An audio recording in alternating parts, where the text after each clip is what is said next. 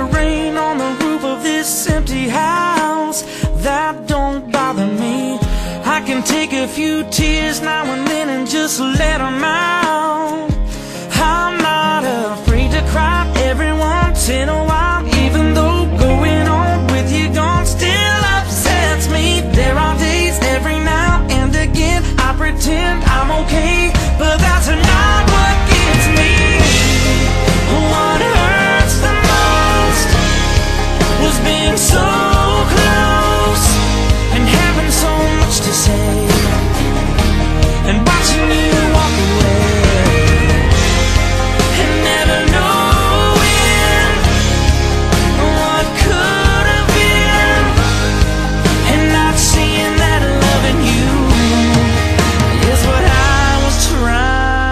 to do.